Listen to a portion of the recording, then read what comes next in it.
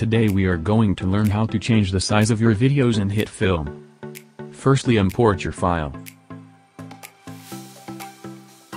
Then click your video clip and go to the controls panel.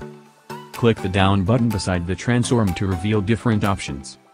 Then in here you could hover your mouse on top of the numbers just like what I am doing in the video then press and hold either to the left to make it smaller or to the right to make it bigger.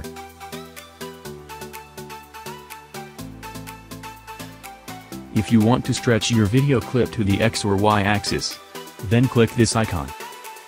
Once you click this you could now change the scale of the video by X-axis alone or Y-axis. What you could also do is to type in the exact value of the scale you want if you want it to be precise.